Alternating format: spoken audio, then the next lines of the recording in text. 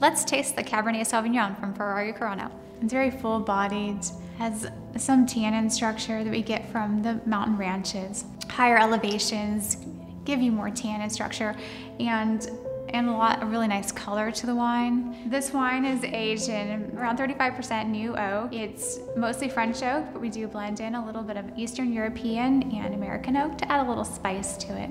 It has like such a concentration of dark fruit flavors and a nice integration of oak to round out the flavors. Adding the, a little bit of Syrah in with the cab adds a really nice smoky plum and, and peppery flavor to the wine, but, but not too much, just a subtle hint of it.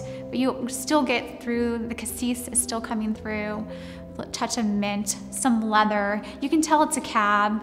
This is a bottle of wine I like to take home and share with my husband when we're having beef fillets or, you know, just barbecuing. This wine goes great with it. I hope that when people drink the wines that we make at Ferrari Carano, that they are surrounded by happiness. They're surrounded by their family and their friends and that they're having this amazing time.